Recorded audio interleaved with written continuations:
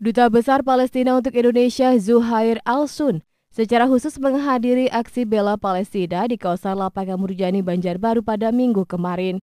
Dalam kesempatan kali ini, Dubes Palestina mengatakan jika konflik kemanusiaan di jalur Gaza oleh Zionis Israel merupakan kejahatan perang dan penjajahan bagi rakyat Palestina. Zuhair mengungkapkan saat ini puluhan ribu warga Palestina telah meninggal dunia akibat kekejaman tentara Zionis Israel.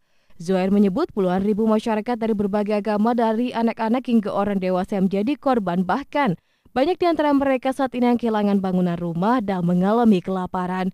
Zuhair mengungkapkan jika pihak Israel saat ini enggan melakukan perdamaian dengan pihak Palestina dan justru terjadi genosida secara brutal sehingga setiap hari warga Gaza dihantui rasa ketakutan. Honestly talking to all of you. Jujur saya ungkapkan kepada kalian semua and uh, His Excellency yang bersama uh, wali kota what he have managed, what he have or- organized for the solidarity, telah international solidarity which we are I mean, celebrating nowadays, it's really more than enough. Ini sangat-sangat lebih and significant. This message of solidarity from your people, dari orang-orang kalian dari masyarakat what we have seen today, yang bisa kalian lihat hari ini is really unbelievable. ini sangat tidak dipercaya That it gives us Dan- the hope Palestine dan kami harap for sure it will be free. insya Allah pasti As everybody free, bebas was- dan orang-orang Uh, you know, his voice is clear that Palestine suara-suara to be free. and 100%. bebas. Dan This is the message. we receive it here today, kita hari ini.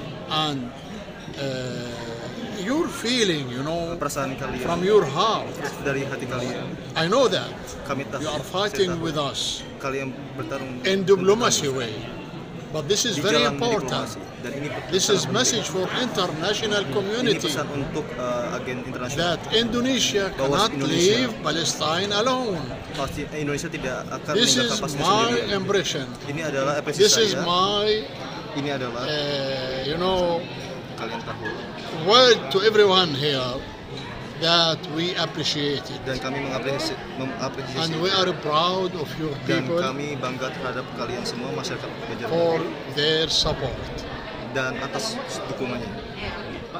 Zohair menambahkan rakyat Palestina akan berjuang atas penindasan hingga penjajahan itu berakhir, bahkan tidak hanya Gaza. Pembantai itu juga dirasakan warga hingga di tepi barat dan kota lainnya. Pihaknya menyampaikan terima kasih dan apresiasi kepada pemerintah kota Banjarbaru yang menggelar aksi bela Palestina serta pengumpulan donasi untuk membantu rakyat Palestina. Suardadi Duta TV, Banjarbaru.